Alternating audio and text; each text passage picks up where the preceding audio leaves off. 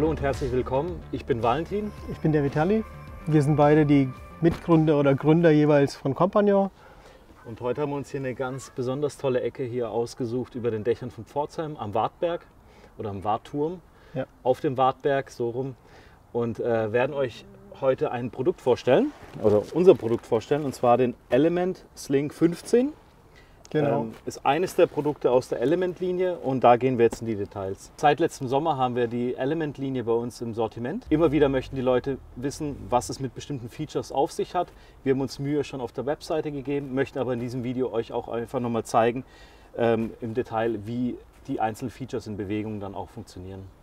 Genau. Im Endeffekt geht es darum, dass unklare Fragen geklärt werden, wenn ihr Interesse an dem Produkt habt, an dem Sling, ähm, wie der funktioniert, was die einzelnen Features sind und ähm, ja, hoffen wir, dass nach dem Video keine Fragen mehr offen sind. Also wir fangen am besten äh, mit dem Material an, aus was der ähm, Sling 15 gemacht ist, beziehungsweise aus was auch die ganze Element-Linie gemacht ist. Wir haben äh, in der ganzen Linie ähm, gleiche Materialien verwendet, gleiche Verschlüsse. Und ja, was wir praktisch zu den äußeren Merkmalen sagen, zählt äh, für alle Produkte der Element-Linie.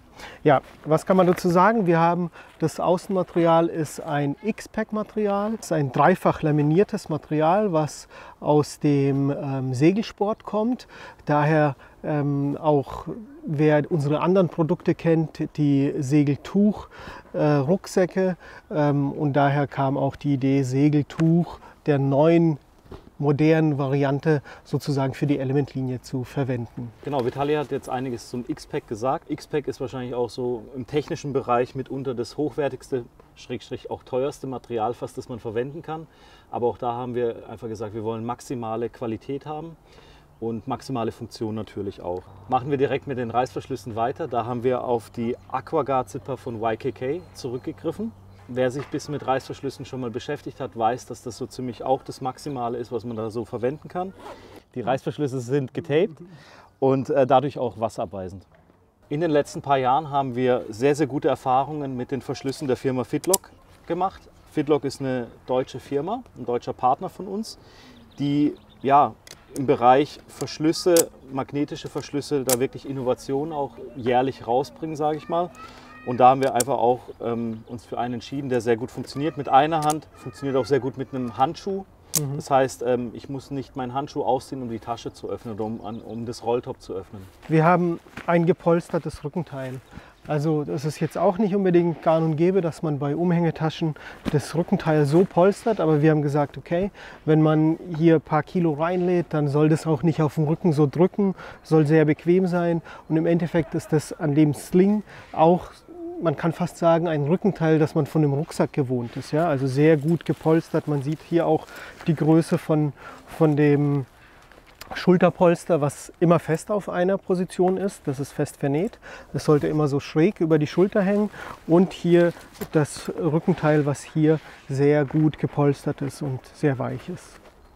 Hier sieht man auch schon mal sehr gut nochmal den Tragegriff auch. Genau. Also der Tragegriff ist breit genug, damit man den Sling 5 oder die Sling 15 Tasche auch gut auf einen äh, Rollkoffer oder auf einen Trolley draufstecken kann. Ja, also es ist nicht nur ein Tragegriff, sondern auch eine Fixierung für einen Trolley. Bei der Konzeption vom Sling 15 haben wir uns auch immer gesagt, wir wollen nicht einfach nur eine schöne, stylische Tasche machen, die irgendwie auf dem Fahrrad gut aussieht, die wie ein Bike Messenger ausschaut, sondern es soll auch auf jeden Fall eine vollwertige Kameratasche sein. Und das merkt man zum Beispiel daran, dass ich hier einen Seitenschnellzugriff habe, wo ich einfach direkt an mein Equipment komme. Hier ist jetzt ein Polster recht weit vorne, aber das Polster, da kommen wir gleich noch dazu, kann ich auch beliebig im Innenraum auch verändern und woanders auch positionieren und kann hier wirklich auch eine große Kamera, eine Vollformatkamera mit einem entsprechend größeren Objektiv auch gut von der Seite schnell ähm, raus und reinpacken. Ja.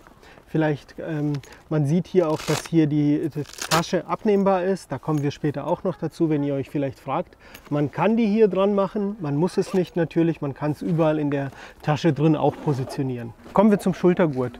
Ähm, ein Sling per Definition ist eine Tasche, die schräg über die Schulter getragen wird. Und da haben wir hier unseren sehr gut gepolsterten Schultergurt, der auf beiden Seiten getragen werden kann. Also wenn du lieber auf der einen oder auf der anderen Seite den Gurt trägst, das kannst du dir dann einstellen. Das will ich dir kurz zeigen, wie das funktioniert. Und zwar, Darauf wir haben, vielleicht, wenn ich kurz ja, reingehe. klar. Jeder Mensch ist da unterschiedlich. Der eine trägt gerne Taschen oder hat gerne das Gewi- Gewicht auf der linken Seite, der andere auf der rechten Seite. Das ist der Genau. Hintergrund. Wir kriegen auch ab und zu Anfragen, wieso habt ihr es jetzt auf diese Seite oder wieso habt ihr es auf der anderen Seite. Es ist wirklich so, dass äh, man fragt den einen, der sagt, ja, ich habe es lieber hier. Da, also man kann es nicht allen recht machen und deshalb haben wir gesagt, okay, wir werden die Möglichkeit geben, es auf beiden Schultern zu tragen im Endeffekt. Und da haben wir hier ein Klett, den man hier dann so öffnet und rausholt und auf dieser Seite dann genau das gleiche. Genau, so. Und dann kann ich praktisch den ganzen Gurt so rum wieder reinmachen. Also quasi Ja. um 180 Grad drehen. Genau. Dann ist zwar das Compagnon-Logo auf dem Kopf, ähm, aber dafür ist das ist nur für die anderen Leute auf dem Kopf. Für, für einen selber, äh, wenn man runterschaut, sieht es dann richtig aus. Genau. Also im Endeffekt hat man so die Möglichkeit, den Schultergurt auf beide Seiten anzupassen, ja, wie es einem einfach lieber ist. Wir haben hier auch noch eine Schlaufe, da kann man sich auch vielleicht fragen, was ist das? Hier haben wir die Möglichkeit, Add-ons ähm, mit ranzuglätten. Wir haben eine Pouch zum Beispiel, die hier dran geht oder auch äh, verschiedene andere Taschen auf dem Markt, die irgendwie an Schultergurte befestigt werden können. Hier unsere Pouch zum Beispiel mit anbringen können. Die ist jetzt gefüllt mit verschiedensten Utensilien, sagen wir mal. Ähm, und die hat hinten Loops und ähm, da könnte man jetzt auch die Pouch mit dran bauen. Aber die Pouch haben wir extra so auch konstruiert, dass sie hier mit an den Gurt dran geht. Ja? Was die Pouch sonst noch so alles kann, zeigen wir euch in diesem Video oder in diesem Video. Einfach Genau. äh, weiterklicken gleich. Ja. So, recht easy auch wieder abzumachen. So, Was auch standardmäßig mit dabei ist, ist dieser Hüftgurt, den Ja. man hier auch ähm, abmachen kann, aber auch wieder dran machen kann. Wenn ich mit dem Fahrrad unterwegs bin, dann möchte ich nicht, dass der Sling auf meinem Rücken hin und her rutscht oder irgendwie nach vorne rutscht und irgendwie vor meinem Bauch hängt oder so, sondern ich möchte den ja fixiert haben auf meinem Rücken. Und dafür ist dieser Hüftgurt da. Einfach zumachen und dann geht er auch nicht mehr weg. Wir haben uns da auch äh, was dabei gedacht, wieso es zwei sind. Ähm, wir haben die Möglichkeit, in, so wie der Valentin es gerade hatte, vorne am Bauch zusammen zu machen. Wenn, man's, wenn man die Tasche eher weiter unten am Rücken trägt und eher waagerecht, sage ich mal. Die andere Möglichkeit ist, ihn schräg. Ähm, und da muss musst ich du das, aber tauschen. Ja? Genau. Okay. Ich zeige ich zeig kurz, wie man das tauscht. Hier habe ich diese Ösen, die mache ich einfach jetzt mal. Da mache ich die Haken raus.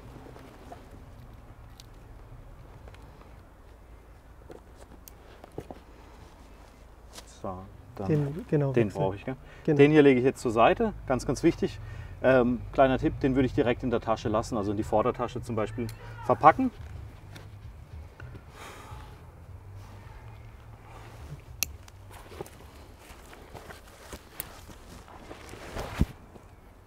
So. Und dann kann ich das hier unter meiner linken Achsel oder je nachdem, wenn ich den Schultergurt links und rechts getauscht habe, dann natürlich läuft es dann spiegelverkehrt und habe den jetzt hier unter der Achsel und habe das genauso gut fixiert. Habe hier jetzt quasi kein Band, habe es dann hier unter der Achsel, ist einfach so ein Es bisschen ist- Geschmackssache. Richtig, es ist eine Geschmackssache, ob jemand den, den Sling eher weiter unten am Rücken trägt oder eher so richtig klassisch schräg über, übers Kreuz, dann eher den einen Gurt. Wenn man es eher weiter unten so ein bisschen rucksackmäßig, sage ich mal, trägt, dann macht man es eher am Bauch rum. Und ähm, ja, oder man mag es halt gar nicht, dann äh, nutzt man die auch nicht. Aber es ist schon sehr empfehlenswert, wenn man irgendwie in Bewegung ist, Fahrradfahren oder äh, vielleicht schneller läuft sogar, dass man dann einen dieser Fixiergurte nutzt. Dadurch, dass wir Kunden mit verschiedensten Körpergrößen haben, aber natürlich nicht für jede Körpergröße einen unterschiedlichen Schultergurt anbieten können, sagen wir einfach, okay, der Schultergurt ist verstellbar.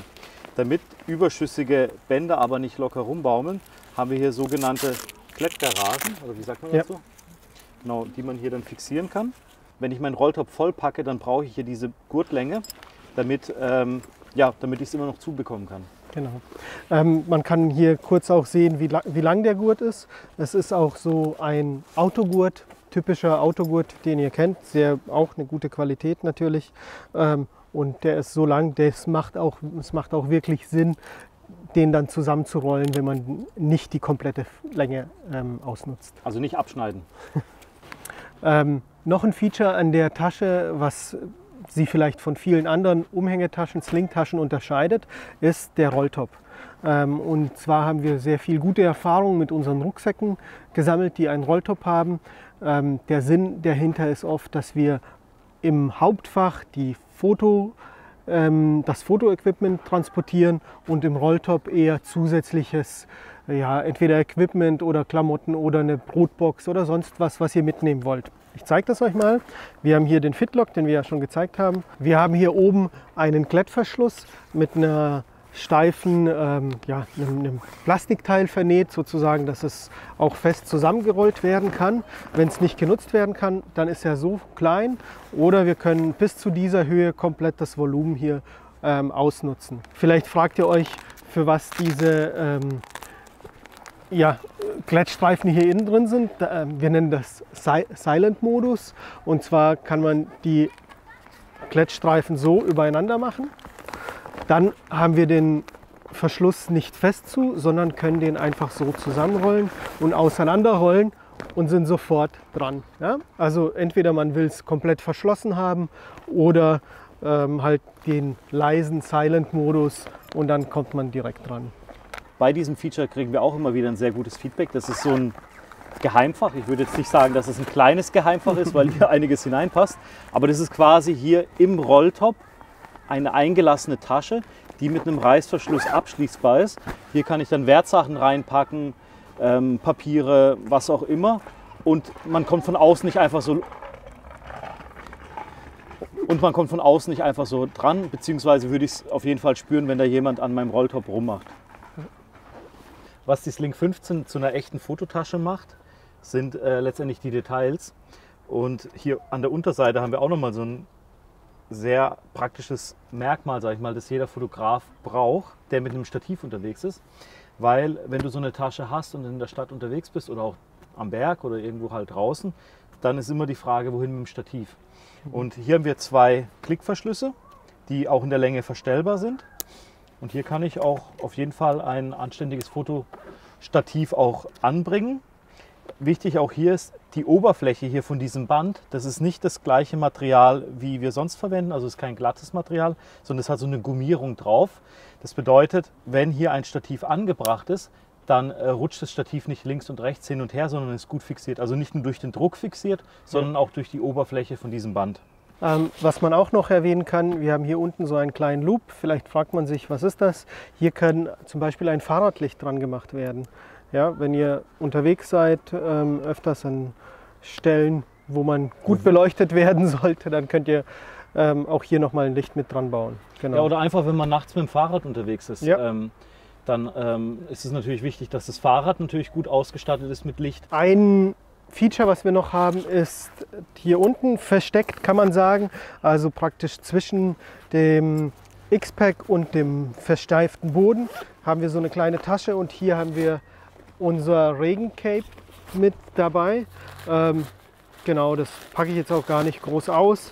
Das ist praktisch das Regencape für den Sling, passend zur Größe. Ähm, genau, das könnt ihr immer auch da unten schön verstauen. Ähm, das Regencover passt auch, wenn im Rolltop was drin ist. Das ist auch genau. ein wichtiger Punkt. Also das heißt, selbst wenn ihr die Form verändert habt, weil einfach mehr Zeug auch oben drin ist, dann äh, wird das Regencover trotzdem passen. Und auch ein wichtiger Punkt, das Regencover ist nicht fest mit der Tasche verbunden. Das heißt, wenn es dann mal nass ist, könnt ihr es einfach zum Trocknen rauslegen ja. und könnt die Tasche trotzdem weiter nutzen. Also es ist nicht miteinander fixiert. Beim Sling 15 finde ich persönlich hier diese großen Außentaschen hier vorne mega. Also hier passt unfassbar viel Zeug rein. Ähm, das ist eigentlich eine eigene Tasche für sich sozusagen. Also es ist nicht nur eine aufgesetzte Fronttasche, sondern hier ist so viel Volumen drin mit verschiedenen Reißverschlüssen, ähm, mit verschiedenen ähm, ja, Fächern. Netzfächern. Ja. Ähm, hier kann ich mein Handy, hier kann ich eine Powerbank, hier kann ich meinen Autoschlüssel, hier kann ich alles Mögliche reinpacken, was ich so mit mir rumschleppe. Ähm, und habe es natürlich auch ähm, dadurch gut gesichert. Ja. Und hier oben, das ist so die, die direkte Verknüpfung eigentlich. Hier haben wir dann auch nochmal so ein Klettfach mhm. ähm, mit einem kleinen Karabiner, wo ich hier meinen Schlüssel oder ähnliches dranhängen kann. Genau. Und hier kann ich auch richtig tief reingreifen. Was äh, man auch mit dem Karabiner machen kann, ich zeige es euch vielleicht kurz, man könnte auch die Taschen, diese Tasche auch sichern. Ja? Wenn wir den Karabiner hier einhängen, zumachen, dann sieht das jetzt keiner und ähm, ich kriege die hier nicht sofort auf. Ja? Da merke ich sofort, wenn, au, nicht so feste. genau, da kommt jetzt niemand so schnell ran. Beziehungsweise wenn da jemand rummacht, dann merkt man es auf jeden Genau. Fall. Gut, dann haben wir jetzt äh, von außen so ziemlich alle Punkte durch oder die offenen Fragen, die uns so gestellt werden.